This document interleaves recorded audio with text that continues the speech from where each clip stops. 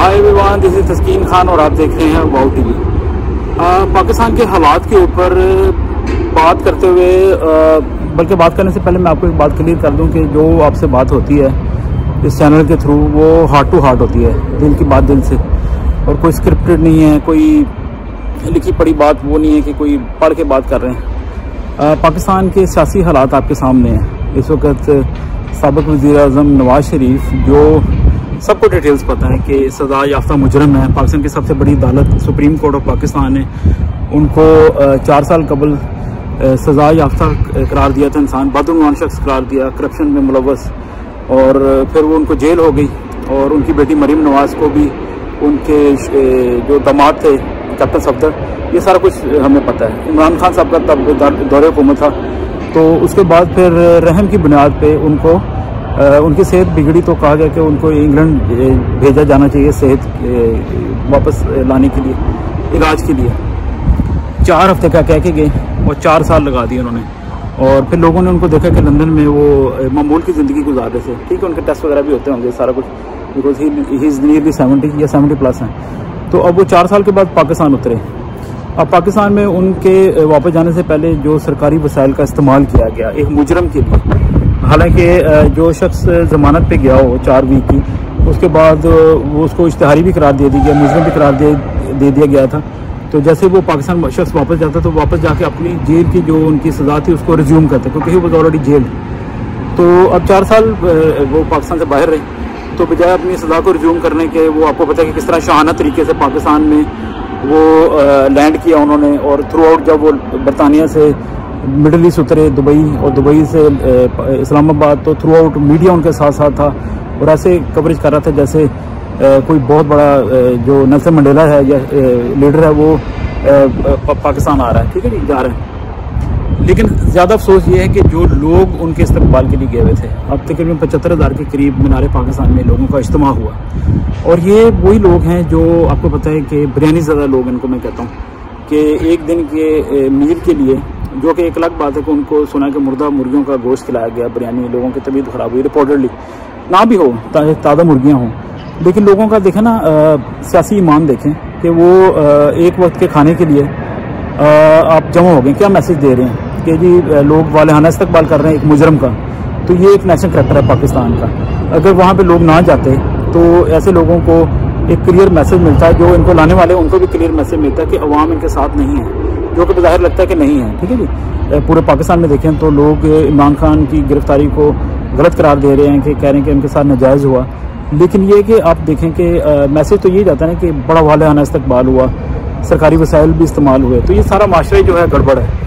لوگ بھی جیب ہیں معاشرہ بھی دیکھ لیں سرکاری مشینری بھی۔ اس وقت پاکستان میں نگران حکومت ہے، لیکن وہ نواز شریف کا استقبال کرنے کے لیے جس طرح پولیس کا پروٹوکول دیکھ لیں پھر پھولوں کی پتیاں برسائی گئیں۔ وہ کہا جاتا ہے کہ یہ ٹیکس پیئر کا پیسہ ہے کہ جہازوں کے ذریعے پھولوں کی پتیاں برسانا۔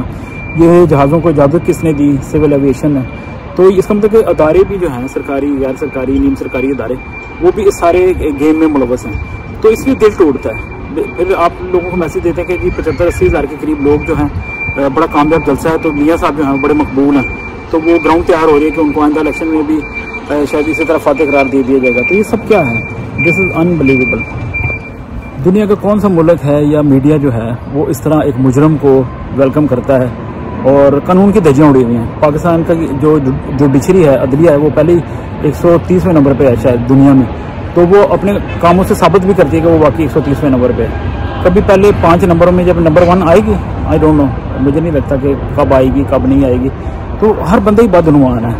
یہ نواز شریف جو سزا یافتہ مفرور مجرم تھے، یہ تو اپنی جگہ پہ ہیں ہی ہیں۔ لیکن ان کو لانے والے، ان کو ہینڈل کرنے والے، ان کو پورا کھلا میدان دینے والے، ہر بندہ جو ہے وہ کرپشن میں ایک طرح سے ملوث ہے، بدعنوان ہے۔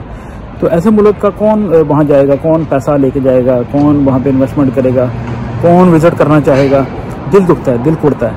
تو اس پہ آپ بھی اپنے کمنٹ کریں، ضرور بتائیں کہ کیا ہمارے لوگوں نے صرف بریانی زیادہ رہنا ہے، صرف ایک ٹائم کے کھانے کے لیے، پھر اس کے بعد کیا ہوگا؟ اوپر والا ہر ایک کو کھانا دیتا ہے۔ اب لوگوں کی، کئیوں کی جسٹیفکیشن یہ ہوتی ہے کہ چھوڑیں جی آپ تو پتہ نہیں پاکستان سے باہر آئیں یا پاکستان میں بھی اگر کوئی ہم تو مزدور آدمی ہیں، لیکن جو پاکستان میں بھی سیٹل لوگ ہیں، وہ کہتے ہوں گے، چھوڑیں جی ایون جو لوگ بریانی زدہ ہیں، وہ بھی کہتے ہوں گے کہ ہم تو جی پتہ نہیں، ہونڈا ون ٹو فائیو لینے گئے تھے یا بریانی کھانے گئے تھے، تو آپ کو کیا پرابلم ہے؟ یہ بات نہیں ہے۔ باقی دنوں میں بھی تو آپ محنت کر کے کماتے ہیں نا کہ باقی دنوں میں تو آپ کو پاکستان مسلم لیگ نون تو نہیں، وہ میلز پرووائڈ کرتی۔ تو اس لیے قومیں اس طرح نہیں بنتی، قربانیاں دینی پڑتی ہیں۔ یہ بریانیوں کی قربانیاں بھی دینی پڑتی ہیں تھوڑا سا سوک یا سول سینس بھی چاہیے۔ تو اگر آپ اسی طرح کے حرکتیں کرتے رہیں گے تو پھر آپ خود ذمہ دار ہیں کہ آپ کے اوپر ایسے لوگوں کو مسلط کیا جانا چاہیے واقعی۔ کہ جو استحصال بھی آپ کا کریں، آپ کو خوب رگڑا لگائیں پیٹرول بھی مہنگا کریں، آپ کی کوئی دادرسی نہ کریں، آپ اسی طرح بھگتے رہیں گے۔ کبھی بھی آپ جو ریئل لیڈرشپ ریئل لیڈرشپ ہوتی ہے جو آپ کے دکھ میں کندھے کے ساتھ کندھا ملائے۔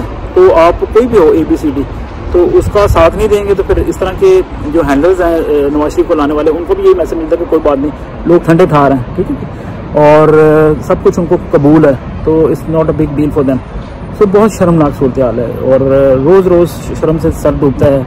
اور پاکستان میں ثابت ہوتا ہے، آئے ہر آنے والے دن میں کہ کوئی نظام نہیں ہے، سب ڈرامے بازی ہے۔ اور لوگ جو ہیں، بھیڑ بکری ہیں اب تو چوبیس کروڑ لوگ بولتے ہیں کہ آبادی ہو گئی تو یہ چوبیس کروڑ کے قریب بھیڑ بکری ہیں۔ تو بس ان کو کوئی ہانک رہے دو چار وہی لوگ اور ان کو شوق ہے لوگوں کو کہ ان کو ہانکا جائے۔ بڑا افسوس ہے، بڑا افسوس ہے۔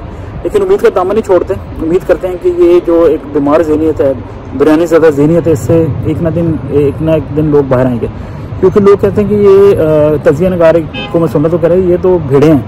تو بھیڑوں کو جب تک چرانے والا کوئی مناسب چرواہ نہیں آئے گا، تب تک یہ بھیڑیں جو ہیں، اسی طرح ڈرامے بازی کا شکار ہوتی رہیں گی۔ بیٹوں کو بھی کوئی پرواہ نہیں، ان کو چرانے والوں کو بھی کوئی پرواہ نہیں۔ خدا بھلا کرے۔